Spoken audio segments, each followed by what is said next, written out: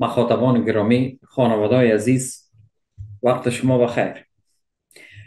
یک مجری معروف امریکایی است به نام تاکر کارلسون. سابق در فاکس نیوز کار می‌کرد. در جنگ اوکراین وقتی که از روسیه دفاع کرد یادم از کار برکنار شد. تاکر کارلسون رفته در آستانه گرم شدن فضای انتخاباتی امریکا به مسکو رفته با پوتین مصاحبه کرده. این مصاحبه هنوز منتشر نشده اما داد و فریاد کل جهان غرب بلند کرده. چرا؟ کارلسون پیش از مصاحبه فقط قدر پیش از نشر مصاحبه اشاره کرده که مصاحبه پوتین همه چیز تغییر خواهد داد. به این خاطر خشم اروپا زودتر از امریکا برانگیخته شده و گفته که تاکر کارلسون باید تحریم شود. روزنامه‌نگاری یعنی اینی طوری که روزنامه‌نگار. روزنامه‌نگار امریکایی الکس جونز میگه که مصاحبه پوتین با کارلسون دو ساعت به طول انجام میده. خب خود تاکر کارلسون به الکس جونز گفته که مصاحبه انجام گرفته. و مصاحبه عالی بود. دو ساعت وقت گرفت. به زودی منتشر میشه. همه چیز تغییر خواهد داد. چطور؟ کارلسون میگه که پوتین در تلاش است تا جنگ سوم جهانی را متوقف کنه. و یک کار بزرگ است و سانسوری که در غرب حاکم است حتی سانسور مطلق گفتن. امیال مردم امریکا در تاریکی مطلق به سر می‌برن از نظر درک و آگاهی از آنچه که در امریکا و جهان می‌گذارد خود تاکر کارلسون گفت که ایران ماسک بر ما قول داده که وقت مصاحبه در تویتر منتشر شود او را مسدود نکنه. و ما از این بابت خوشحال هستیم و کشورهای غربی تمام تلاش خود می‌کنند تا این مصاحبه سانسور شود. خب برحال از اونا از اطلاعاتی که نمی‌خواهند یا نمی‌توانند کنترل شود میترسند عجیب نیست؟ یک تلویزیون موفق یک روزنامه که که با تمام قدرت بر کار خود احاطه داشته باشه می‌تونه در بسا موارد در تعیین یک دولت اثر مؤثر یا اثر قاطع بگذاره چون زمان ما زمان بیشتر ارتباطات و اطلاع رسانی است. خب بنا گفته که لازم نیست از او بترسین از مصاحبه که انجام شده. خود کارلسون میگه ما شما را مجبور نمی‌کنیم که مصاحبه را شما تماشا بکنید یا موافق باشید با او. اما شما را به دیدنش دعوت می‌کنیم به این خاطر. که همه چیز بفهمین و به عنوان یک فرد آزاد نه به عنوان یک برده مسموعاتی یعنی یک برده رسانه‌ای موقعیت خود انتخاب بکنه. چیز مهمی انجام گرفته برحال مشاور امنیت ملی امریکا و استولتنبرگ هم مسائلی را مطرح کردن در, در ارتباط با جنگ اوکراین. که ما او را بعدا ارائه می‌کنم. اما فعلا تاکر کارلسون گفته شده که ممکن است به دلیل مصاحبه با پوتین با تحریم روبرو شود. اتحادیه اروپا بازپخش, بازپخش تبلیغات روسیه را به اصطلاح یک تهدید حساب کرده و ممکن است بالای تاکر کارلسون تحریم های را وضع بکنند. اعضای فعلی و سابق پارلمان اروپا گفتند که مصاحبه کارلسون با پوتین باعث میشه این کارشناس محافظه کار توسط قانونگذاران اتحادیه اروپا تحریم شود. از امریکا که اروپا ترسیده. گای ورهوفستاد سخن نخست وزیر سابق بلژیک است و نماینده پارلمان اروپا. این میگه کار کارلسون در روسیه می‌تونه منجر به بدتر شدن روابط بین مجری سابق فاکس نیوز تاکر کارلسون و اتحادیه اروپا شود. این دنیای آزاد. و ما شما در کابل چی حال انداخته بودن؟ هر چیزی که دان, دان یک نفر می‌برم یک کسی رو می‌گفت می‌گفت که از نگیرین آزادی بیان است. دنیای آزاد دموکراتیک. این بزرگترین دستاورد ناتو از در افغانستان. حالا ببینید تا کارلسون گلونش گرفتن. بله. او خب افغانستان بود و فایدهشان بود. وجود بناقصشان است. بنان دنیای آزاد و دموکراتیک می‌تونه معکوس شد حال ممنوعیت سفر برای کاردسون است خب ممنوعیت سفر به اروپا. این نخست وزیر سابق بلژیک عضو پارلمان اروپا است میگه این باید تحریم شود؟ به دلیلی که کارلسون زبان ترامپ و پوتین است. حالا دشمنی اتحادیه اروپا با پوتین آل آغاز شده. چرا پوتین در جنگ است و ترامپ میگه که ما تمام مصارف جنگ خود اروپا خودش بپردازه. لوئیس گاریکانو یکی از اعضای سابق پارلمان اروپایی آدم هم میگه که این کارلسون چی است؟ یکی یک گزارشگر نیست. متوجه هستین؟ چیزایی که در مجامع روزنامه‌نگاری کشور خود ما شما گفته می‌شد. کسی که کمک یک کار بهتر میگه گزارشگر نیستی خود روزنامه نگار نیستی یک مفتن از یک مفتری است یا این چیزایی می‌گفتن. حالا عین چیز در اروپای متمدن تکرار میشه. مگه کارلسون یک گزارشگر نیست؟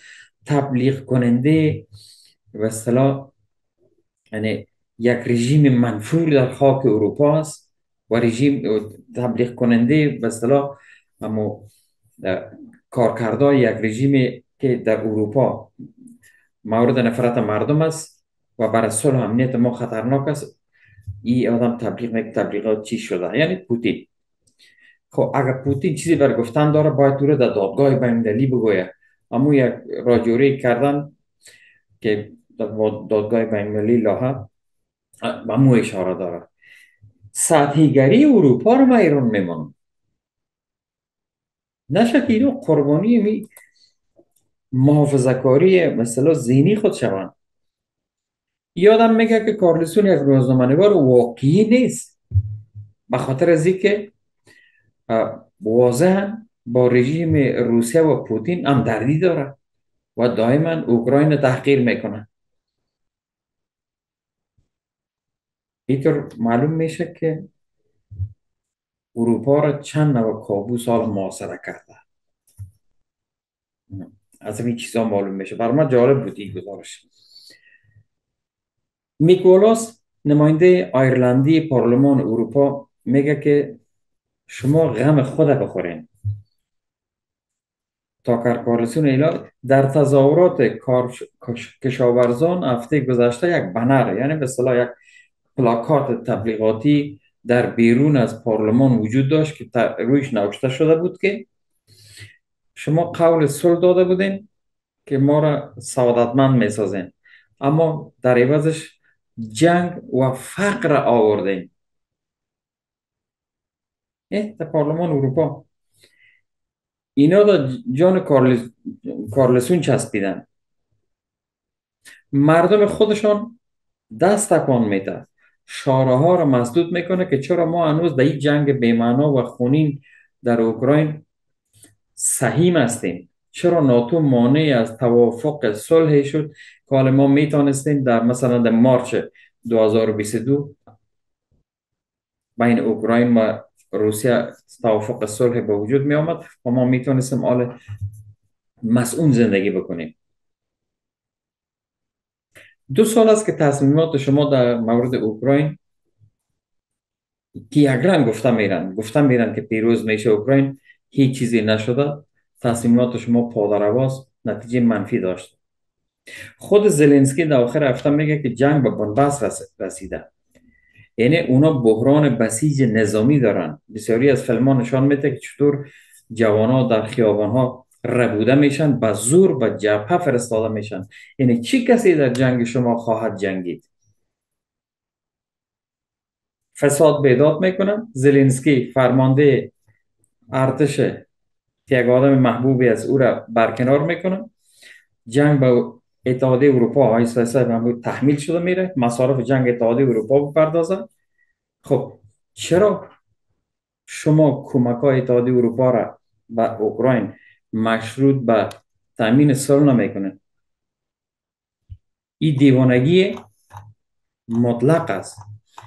این مواردی بود که در مطبوعات و در به منطقه خبرخیز اروپا مطرح میشه در اینجا مشاور امنیت ملی رئیس جمهور امریکا جک سالیوان و ینس استولتنبرگ دبیر کل ناتو هم در ارتباط به درگیری بین زلینسکی و زلوژنی اینا مکالمه داشتن خب یکی می‌پرسه که چقدر نگران تصمیم زلینسکی برای اخراج جنرال زلوژنی و هم در یک لحظه حساس هستید در اکثر کشورهای دموکراسی دموکراتیک اگر یک رهبر غیر نظامی بگوید که دیگه نمی‌خواد فرمانده کل خود در مقام خود ببینه او شخص برکنار میشه.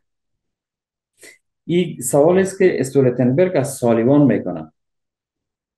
سالیوان میگه که میر کارش به داخلی اوکراینیا می‌دانم گزینش ها و برکناری ها خودشان ابراز نظر بکنن رهبر منتخب در موردی که چه کسی در بالاترین رده های نظامی قرار بگیره تصمیم می‌گیره. خب ظاهرا یک موضع خونسا می‌گیره سالیوان. اما در جریان هستن. تا جایی که میگه به امریکا مربوط میشه ما به حمایت از دولت اوکراین ادامه میدیم. نه اینقدر زیاد در حاشیه خود نگاه نکنه همه جنگ در دست امریکاست.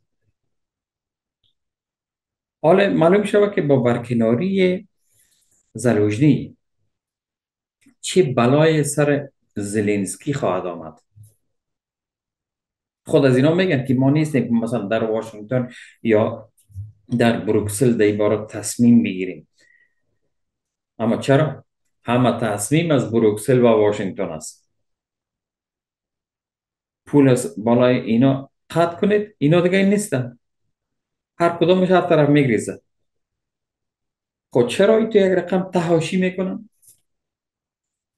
به خاطر از که نیات اصلی خدا نمیگن به مطبوعات.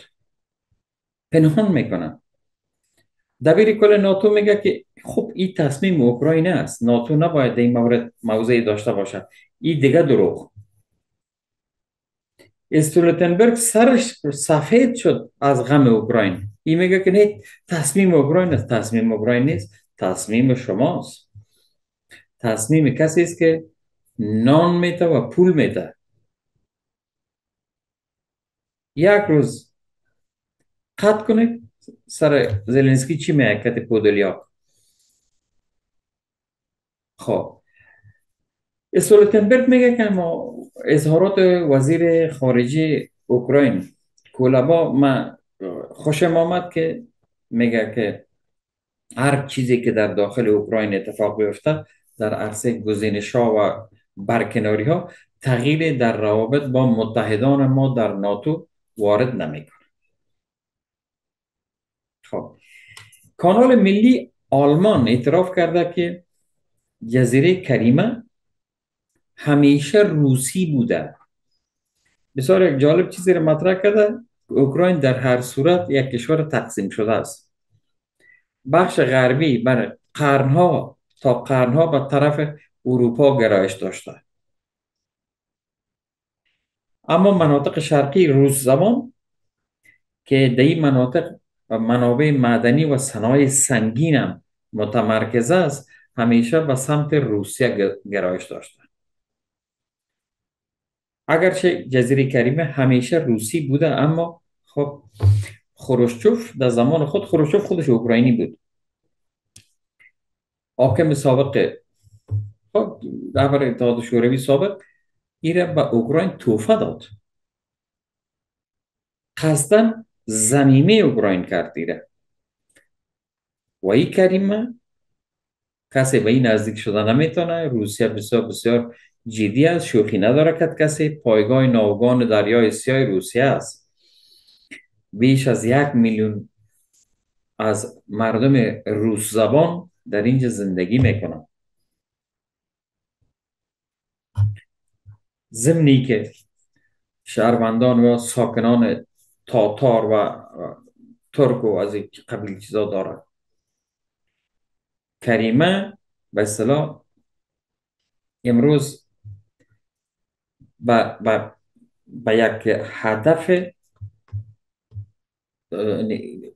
هدف تخریبی اوکراین و کل ناتو قرار داره چرا این نقطه را نقطه ضعف روسیه فکر می‌کنند به می خاطر ما در این طول سال 23 دیدیم 2023 که زیادتر حملات بالای امی جزیره بود اما این حملات کلش دفع شدن و آل گزارش های می‌رسه که در جزیره کریمه تمام قدرت زرادخانه خود روسیه در اونجا متمرکز کرده که از اونجا راست میره اروپا را هدف می‌گیره.